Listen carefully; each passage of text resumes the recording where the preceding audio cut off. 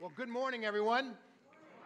I know it's been a while since I've been up here, so if you forgot who I am, my name's Neil, and uh, it's great to have you all in our service this morning. And uh, just one more uh, announcement before we jump into things. The community garden that some of you have kind of watched come together out there is ready to get started. So if you'd like to sign up for a plot, you can do that. You can do that online. Just there's an email address, communitygarden at hopechapelsterling.org. You can just email say, I'd love to have a plot. But Jen Knipe, who's Jen she's here in the building and she's going to be out in the lobby afterwards. Somebody say, ah, you know, I don't really eat vegetables. Well, grow them to give them away to somebody else or to give them to a, to a, a food pantry or whatever. But so, and you can get all kinds of sizes and that kind of thing. We're hoping it's a great ministry outreach. So, so many of you didn't know who, don't know who John and Sheila Miner are. John and Sheila lived in Leominster. We're charter members, founding members of Hope Chapel at the very first service back in April of 2002. And um, they now live in Michigan, where they've retired. And uh, they must have a lot of vills out there because he's referred to, to Hudsonville instead of Hudson. But, uh, and, uh, and, and actually, our first three elders were all named John. So we had First John, Second John, and Third John. So we're very biblical. We're right on target. But as you can tell, we're entering into a 20th anniversary kind of season. And some of it, you know, we just want to take a moment and look back and celebrate what God's done. And I've been doing that a little bit in my columns and doing that. Uh, we're going to do that through some additional videos as we go forward over the next few weeks. And, uh, but I'm also praying that this time of just kind of slowing down and, and taking a look at what God's done is uh, you know, my prayer has been that God would use it to reignite a pioneering spirit to expand the kingdom. You know, it's, it's really pretty easy sometimes to, to get settled in and just get comfortable. You know, it's like going to your grandmother's house that's, and everything in the house is 25 years out of date right? Because they're just comfortable in it. And, and I'm praying that God will use this season to renew our, our passion, if you will, to have a pioneering spirit, to, to expand the kingdom in the areas where He's calling us to, to do that. And so I want to do a three week series called Guideposts. And, and what I want to do is I want to look at some passages of Scripture that have been truly formative in shaping who Hope Chapel is and what we've done over these 20 years. Now, they weren't always necessarily theme verses that we would have on the passages of Scripture and things that we were preaching through all the time, but these were the kinds of passages behind the scenes that were impacting leaders, impacting me, and shaping kind of what it is that we did and what we wanted to, where we wanted to go and what we were really asking God to do. And I want to look at a few verses uh, over the next few weeks, looking at that called guideposts, things that God used to point us along the way. So, I mean, our strategy from the very beginning, our mission has really never changed. We, we launched Hope Chapel to be a Luke 15 church. Now, if you don't know Luke 15, Luke 15 has three parables in it. Jesus is getting criticized by the religious leaders for hanging out with sinners. And he tells the story of the night uh, of the shepherd who comes back one day and there's 99 sheep in his pen, but there's one missing. And even though there's 99 there and there's plenty of work to do, he goes out and he looks for the one that's missing. Then he tells the story of the parable of the, the widow who lost her coin, who turns her house upside down until she finds it because it's precious. And then, of course, the story that we're most familiar in to, with is the pro- story of the prodigal son and, and we set out from the very beginning to be a congregation that not only ministered to the sheep, but was looking to go out for those who weren't inside the pen yet. And so we, we understood that, that our, our, our mission was to come alongside and be Christ in the world as the body of Christ and to be about seeking and saving that which is lost. Now, our strategy to do that was was really simple. And, you know, in the early days as we were growing and that kind of stuff, other church planters would ask, well, what are you guys doing? Why is it, you know, why are you growing? Because we, we had a season in there for all the way up through probably the first three or four years in the building where we grew in attendance every single quarter. We had more people were uh, regularly attending every single quarter for almost the first 10 years of our life. And guys, what are you doing? And, and our strategy wasn't profound, it, it, it, wasn't, it wasn't sophisticated, but it was powerful. And, and, and here's how I describe it it says, we just, every single week, we want to get better at loving God and loving people. If every single week we can take some kind of a step in learning how to love the Lord with all of our heart, mind, soul, and strength, and to learn out how to love our neighbors as ourselves better. If we can, if we can just do that every single week, everything that we hope and dream for, that God would take all the sacrifice that we're making to make that all of it was going to come to reality. And that strategy hasn't changed today. Our mission hasn't changed, and our strategy hasn't changed. Now, the vision will change, and we'll be talking about that in the upcoming months as we move into a new series, post mortgage, and all that kind of stuff. But, but we, we really, the, the idea of the fact that we're here to be a Luke 15 church. We're here about those, we are here in this place, and our mission is about those who aren't here. Does that make sense? And the way that we're going to do that is that we're going to learn collectively and individually how to fall more in love with God and how to love our, our neighbors more completely. Now, underneath all of that, there was a prayer that was going on. There, there, there was just a sense. I, I, used to meet every single week with one of our early church leaders. We'd pull up in, in, in, onto the property that had been given to us, bequeathed to us by Sterling Baptist Church that, that, that uh, disbanded, and we'd meet there and we'd pray together every Thursday morning. And, um, and, and there were lots of prayers that ran on, but there was an underlying spirit underneath it. And, and I will tell you that the, the passage of Scripture that is, the, it's a partial part of it because our wall's not big enough, but the passage of Scripture that you see on the wall behind, as you walk into the office was reflective of our sp- prayer. This is, uh, may the God of hope fill you with all joy and, and it doesn't stop there. That's Romans chapter 15, verse 13. And we're going to go there in just a minute. But it says, May the God of hope fill you with all joy and peace as you believe, so that you may overflow with hope by the power of the Holy Spirit. Now, a couple years after we moved into the building, Carol Albee, who's with the Lord now, uh, put this up on the wall. And it's a great reminder every single time when we, we walk in. Now, I can't stand, stand here and tell you today that way back in 2002, that God gave me this verse of scripture to pray. But I will tell you the things that we prayed about regularly by ourselves and, and, and as small teams as we gather together are very much reflected in the spirit of this prayer. And if you have a Bible, I'd love for you to turn to Romans chapter 15. We're just going to look at this single verse, and I'm going to flip over to a couple of other places. If you're using one of the Bibles that's up underneath your chair, you're going to find our text today on page 1008. 1008. And I, I want to, before I read this again, I, I want to put it in context and what's happening in the book of Romans. So, so you see just how pivotal it is for the Apostle Paul. Now, again, at this point in time in his journey, the Apostle Paul had never been to the city of Rome. He wanted to go. He felt like planting the gospel, having a faithful, founded, grounded, healthy witness to the gospel at the center of the Roman Empire, which was literally the center of the world in those days, that that was pivotal for God to be able to change the world that he wanted to. And he longed to go to Rome, but he hadn't been there yet. So, in, so he wrote a letter.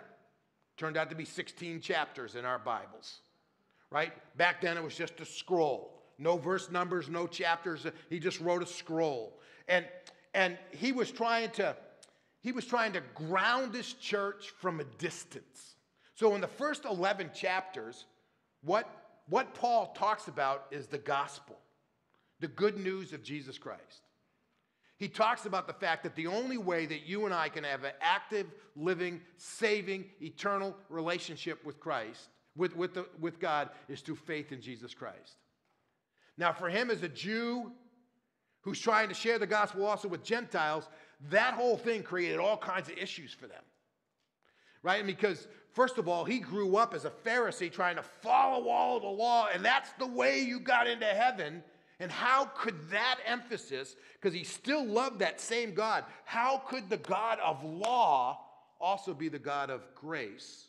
And how could the law serve as a precursor to a substitutionary atonement? In other words, a righteousness that's given to us rather than earned by us. How could that all work out? And he spends all this time unpacking the, the redemptive activity of God and explaining it theologically. I'm not going to go into all of that today. It also flows out from there as the fact that that message was not just for the Jews, but the Jews were God's pinpoint of being able to open it up so it's available to all of us who will believe. And he does that in the first 11 chapters. Chapters 12 through 15, he says, Now, given the fact that that's all been accomplished, use Jesus' words from the cross, it's finished. He said, This is the way you can live, and this is who you can be, and this is how you should work together as the body of Christ. And so he begins to unpack all of that in, in chapters 12, 13, 14, and 15. He's talking about literally everything that's available for us and the ways that we can live, the ways we can relate to God, all the marvelous stuff that's hard to put into word. And when he gets done with all of that, as he gets ready to transition to his future plans and say his greetings and stuff, he concludes all of those 15 chapters, if you will, with this simple prayer. So he's standing in history. He's looking back. He's looking all the way back to before the, the founding of the world. He's looking at the Garden of Eden. He's looking at the life of Abraham, Moses, right on down the line through David up to the birth of Christ, all of his life, and his own encounter with the risen Christ on the Damascus Road. And when he gets done with all of that and what it means for us, this is the prayer that he prays for them. This is the prayer that he prays for us.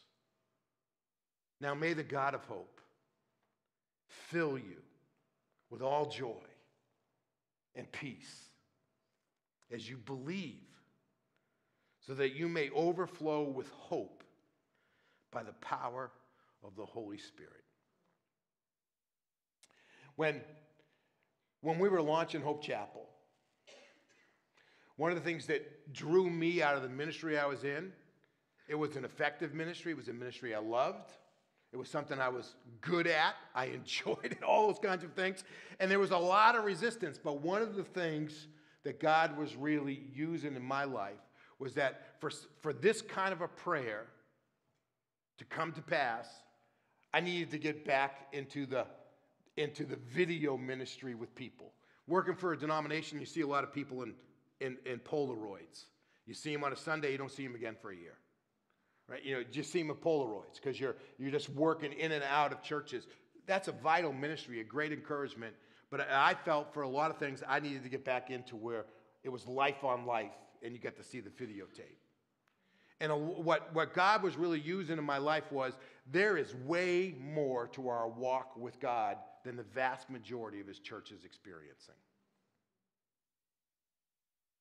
And so Paul when he thinks about everything that God's done, the prayer that he prays to make sure that we don't leave one crumb on the table, but that we enjoy it, we consume it all, it's all ours. He says, Now may the God of hope fill you with all joy and peace as you believe, so that you may overflow with hope by the power of the Holy Spirit. And I want to unpack that prayer today.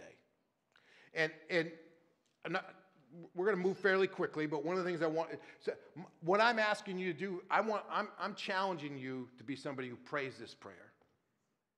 And I'm also challenging you to be the answer to this prayer. That somehow or another, God uses you in the life of other people to fulfill this prayer. Now, I'm going to use a little outline that, that's not original to me. I've shaped it from me, but it actually comes out of, a, a, a out of some notes that I have from a class that I took with Dr. Curtis Vaughan, who was my, one of my New Testament professors at Southwestern Baptist Theological Seminary way back in the 1980s. So, so to figure that this is one of those times where you put the DOS floppy disk in and you turned it on and then you pulled it out and then you put in the word floppy disk and then you typed up and then you pulled that out and then you put in the data disk and that's when I went to seminary, all right? So a long time ago and I still have those handwritten notes and I still have a couple of the, the old commentaries that he had And, and, and, and he, let's just unpack this prayer for us, right? Very first thing that I want you to see out of this prayer is that God is just aching for us to live a life in direct contact with Him. God is just, as I pray for you, as I've ministered over these years, as the church has ministered, God's, God's passion, God's desire, all that He's done, and His prayer that is, is that you and I would live a life that's in direct contact with God. You know, one, one of the things that I was convinced of as we got started was that th- there was still a longing for God in our communities. People hadn't given up on God, they had just given up on the church as a place to find God. You know, they, they went there and they left, and some nice stuff happened, but they had really no understanding of how that really connected with them. There wasn't any direct contact with God. And, and that, that to me is just a, a, a powerful idea. I, I think so, so easy. You know, we, we, can, we can conceptualize of God in so many different ways. You know, for some of us, you know, church and God is a coping mechanism. It, it's, it's, it's what I lean on just to get through the week. That's not bad, but that's not what God's longing for. For, uh, for others, God, God is the, the, faith, if you will, the church is, is somehow or another, it's a, it's a philosophy or an idea, and I'm trying to master everything that it can teach me so somehow I can use it. it that's a part of it, but that is not what God's longing for. Just, just like as a parent, you are not longing to have every detail of your kid's biography down on paper. What you're longing for is to spend time with your kids right? And the older you get, the more you long for it. When they're around, when they're little, sometimes you wish they just go away. But you get to a time in your life, it's like, man, I, you know what? This is precious moments. It's not just an idea. It's not just knowing the facts. It's way beyond. It, it, it's, it's, not, it's not a campaign platform for social justice. It, it's not. God aches for you and I to live our lives in direct contact with Him. I mean, you can see it from the very beginning where God comes into the garden to walk with Adam and Eve. He's longing to live in relationship. You know, every time now I, I hop in the car and drive off to Peabody just to have dinner with our son and daughter in law and grandchild, you know, I, you know, I think this, this is what motivated God. He, he just wanted to have direct experiences with his children, with his creation. And, and God's, God's prayer for us, the reason he did all 15 chapters of the book of Romans, extending all the way back to pre creation, was so that you and I can live our lives in direct contact with God. Now may God fill you. There's a direct line between those things. And, and the only way to have that line for eternity and for now, the only way to really come to the Father is by Christ. You know, Jesus said, I am the way, the truth, and the life. No one comes to the Father. And that's just not just a reference to heaven, that's a reference. No one comes to the Father but by me. And, and as Paul's looking through all this stuff and he's thinking about everything God's done, he says the reason he's done that is God. God wants to have a personal relationship with every single person who's made in his image. And that's all of us. And, and it's not just an idea, it's not just a self help thing. One of the most glaring moments we ever had is we had, we had an individual who was coming, they were going through a hard time in their life. Eventually, they kind of cleared that, and that was in their rearview mirror. And they kind of stopped coming. We reached out and said, Well, you know, I needed church then, but I'm in a better place now. I don't need church anymore. I've got to tell you, religion may have helped her, but that's not the same thing as having a relationship with God. And that's what God longs for. And that's what God is, is working for in our lives. If you need affirmations, you know, this is why G- the scripture, Jesus, the last thing he said to his disciples, man, I'm with you always, right? That's why the psalmist is saying there's no place you can go from my presence. It's why Paul writes about in the, earlier in the book of Romans that there's nothing that can separate us from God's love. God longs to have a direct relationship, a direct contact with you and I as we go forward. Here's the second truth I want you to see God wants us to have an overflowing life.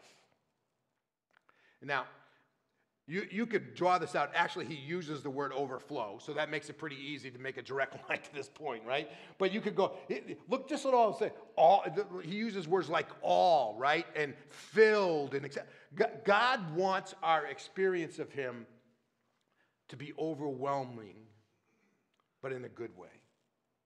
You know, and you're going to hear a little bit more about this next week in the passage that I want to share, but, but there, were, there are way too many precious children of God who are settling for a mediocre experience of God. And that's not what God wants. God didn't do everything that He did, not only in the Old Testament, but particularly in His Son Jesus. He didn't do all of that so our walk with Him could be okay.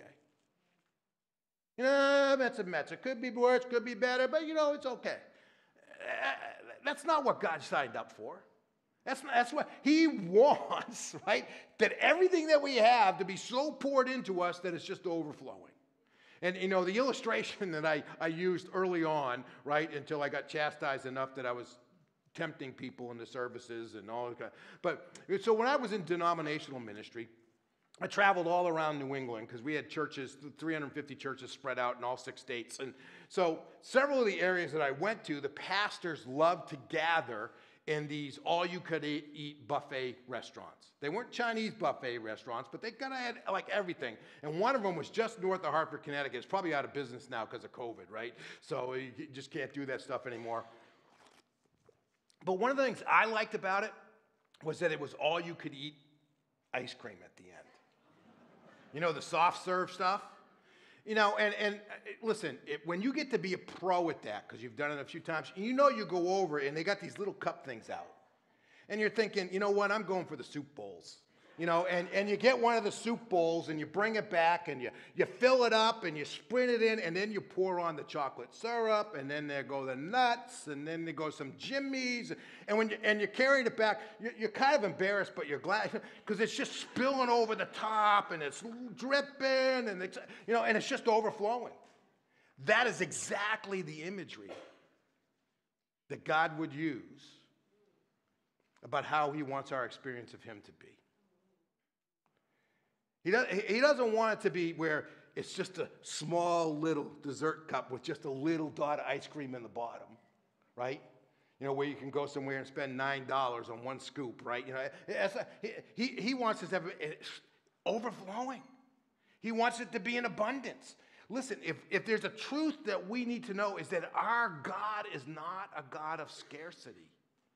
He is a God of abundance. The stuff that he's trying to pour into us, he wants to give us in an overwhelming sense. And my, our prayer all the way along is God, don't use our ministry just so that people have an okay experience with Christ. Somehow or another, let's engage people, connect with people, serve people, pour into people, let people serve, let do whatever's necessary for them to have an overwhelming experience an overflowing experience of the love of God, of the purposes of God, the joy of God, and you just go right on down the line. I don't have enough time to go any, any longer. Now, that overflowing life, there are three primary characteristics that Paul gives us here joy, peace, and hope. Let me read it again for us, right? Now, may the God of hope so God's imparting his nature to us. May the God of hope fill you with all joy and peace as you believe, so that you may overflow with hope, right? His purpose for us is so that you and I can have lives, lives that are overflowingly characterized by joy, peace, and hope. Now, I had a, wish I had a whole time. I mean, these could be a, a sermon all to themselves, each one of these points. Just very quickly. Joy, joy is not happiness. Happiness is an emotion. joy is a quality. It, it, it is a spiritual quality. The fruit of the Spirit is what? Love, joy, right? This is something that God gives us. And it is a quality, it is a perspective, an attitude. I, I, I think of it as like it's like a life culture that allows us to, to experience what is good in that journey. Uh, so, somebody once said it's like carrying your own weather with you. Right? So, it, so it's always 78 degrees and sunny with a gentle breeze. You know, when, when you're walking with joy, you're carrying your own weather with you as you go through life. So even as things go up and down or whatever, there's just this prevailing sense that God is good and that goodness is in, in our lives. Then he talks about peace. Again, we often think about, uh, man, I just want some peace and quiet in this. I mean, we just want the absence of conflict. But this word is much more, this, this, is, this is God giving us everything that we need to be able to flourish. It is the presence of everything that we need to be spiritually, physically, emotionally, relationally healthy. To be experiencing all of that. This, this, this is God's gift to us. He wants us to have a spirit of peace. And then there's hope. And hope, in, in many ways, is, is the idea of, of that which is in the future that we know to be true is transforming our present. It gives us the reason why we do what we do, why we know we can have all. And so he said, I want your life to be just overflowing, right? I want it to be like one of those dessert bowls that just can't hold all of the joy and peace and hope that I pray. And this is his prayer for us. This is why God's done everything up to this point so that you and I can live in direct contact with him, right? And our lives can be overflowing with joy and peace and hope. But it takes faith. You, you can't read this passage of scripture and move away from it as you believe. Right? The only way this prayer gets answered in your life or in my life is by faith. It takes faith. It, it, it absolutely takes faith. It takes an initial faith decision to walk with Christ, and then it takes, uh, then it takes faith as we live every single And boy, I wish I had a lot of on time to pack this, but let me put it this way. You know, faith is, is the ability for us not to let our circum, not to let our expectations be dictated by our circumstances, but by the God that we work with. And I could unpack some things from our journey. I mean, eh, you know, first of all, ju- just the whole journey that we took on about trying to buy this land and build this building on paper by any stretch of imagination, even with a healthy dose of faith, the answer was this makes no sense at all. I mean, we were a congregation of about 80 to 100, maybe 120. It kind of depended on the week and the season, right? And, and, and, our, and we had like a $180,000 budget, and we were taking on a $2.5 million project. And, and even the best church consultants would say, You're not ready. But somehow or another, in the midst of that, we believed that God was calling us to do it at that time. Right? And, and it, so you can't, you, faith is that ability not to let your actions be determined by your circumstances, but by what you believe to be true. Let me say that in just a, maybe in a different way. This faith is the ability for you and I to be live our lives not by what works but by what God wants. Let that sink in for just a minute, right? Faith is the ability to, to, to have this prayer answered as we believe so that we can be filled with joy, hope, and peace. So it's over. The way that works is that it, it's, it's we don't live our lives saying, all right, this was what will work. We look at it by this is what God wants, right? This is God's will for us. This is who God asking us to be. And it is you and I are living that way that we are exercising faith and this prayer begins to get answered. Does that, does that make any sense? You know, because so often, I, I remember one time in our journey, we were working through the, some, some of the teachings of Jesus, and my kids were much younger. They were like in junior, ju, junior high school or whatever. And we were talking about turn the other cheek and pray for those who persecute you and go, you know, and one of them said, Dad, that, that'll never work at my school. You know, if you do that, then you're just going to end up being the doormat, and everybody's going to pick on you, whatever, that kind of stuff. So, you know, and, and so that's what works, right? That's what works. And some of us, we, we, you know, it's so easy to say, you know, what works is is a dog eat kind of world. Do it to them before they do it to you. Da da da da. You know, and etc. And and and we just live that way, and that's totally different than doing what God wants us to do. And faith is living our lives not by what we what works, but by what we want. I got one last piece. A life endowed with power. Notice that he, he says, so you overflow with hope by the power of the Holy Spirit. Boy, I, I want to read a passage from, from 2 Peter. This is a passage that's been very influential to us in our last few years. We're in, in, in verse 3 of chapter 1. Peter writes, at God's inspiration, he says, His divine power has given us everything required for life and godliness through the knowledge of Him who has called us by His own glory and goodness. And, and when he talks about you and I living our lives with power, it's actually being able to live the life that God wants for us, a life that is marked by godliness, right? And, and godliness is not a piety where we look like a monk, and but it's, it's getting to be the light of the world and the salt of the earth. It's, it's to base off of Steve's sermons the last few weeks. It's when God tags us, we're ready to go into the game. And we're ready to be the people and do it, whether it's to serve, to share, or to pass it on to others. We are ta- God wants us to have the sense that you and I are enabled, we are empowered, we are capable of actually doing what He's asked us to do. And, and that's His prayer for us. To live a life in direct connection with Him, a life that's overflowing with joy and peace and hope. Because we have a faith. And we're ready to be the people and live the lives that God has for us. That prayer was driving and still drives what we do at Hope Chapel. It may come out in life groups and VBSs and outreach programs and doing this service projects. It may come out in all different ways, but this is a prayer that's below it. And here's what I'm asking you to do today. One, will you pray that prayer with me? Will you just make a commitment to pray that prayer with me? Pray it for yourself, pray it for me, pray it for Hope Chapel. Will you just commit to pray in the spirit of this prayer for yourself, for the church, for me? Secondly, will you truly be open to letting God use you to answer that prayer in the life of somebody else.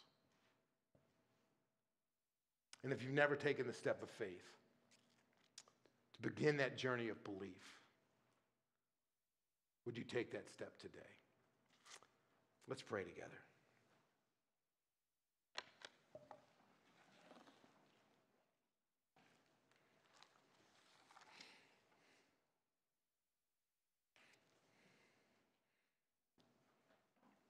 Now may the God of hope fill you with all joy and peace as you believe, so that you may overflow with hope by the power of the Holy Spirit. In the name of Jesus, amen.